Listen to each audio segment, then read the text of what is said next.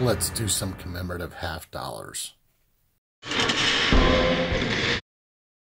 Hey everyone, Silver Steeler here. And Winning Image Photography. So yeah, it calls for four commemorative half dollars in this Dansco album.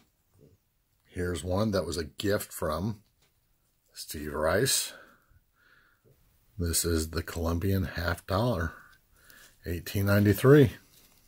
The first commemorative dollar, half dollar. Mm-hmm, the very first one.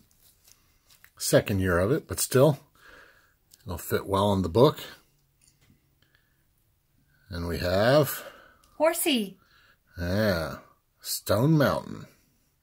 That's the one I got for this book at um, Grand Rapids with TB mm-hmm. and Mrs. TB. Mr. and Mrs. Talking Bullion. We were at a coin show and we bought this one.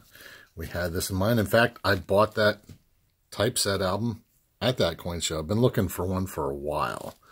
And here we've got the George Carver and Booker T. Washington. Commemorative, what year is this? Uh, 52.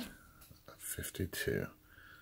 I love the fact that it's got United States map on the back of it. Even the states are separated. That's pretty cool.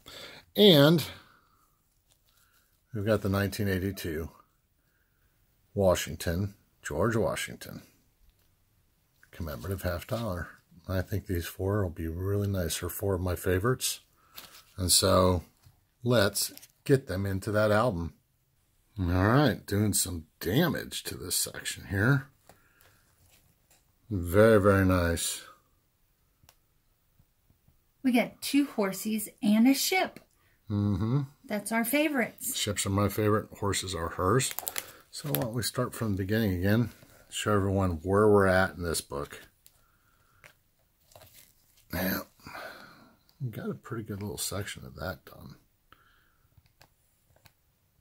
Mm, some of them cap bust half dimes. Those are gonna. I'm starting to probably get into the expensive part of this book. I'm sure. And got some damage to do on these quarters yet in the early half dollars. But then the back half of the book is not going to be as hard to get, and I've got some really nice pieces in there. So my next video will contain the silver dollars that I'm going to put in here. So until then, remember to like, subscribe, and all those other good things. I'll see you on the next video. Bye, everyone.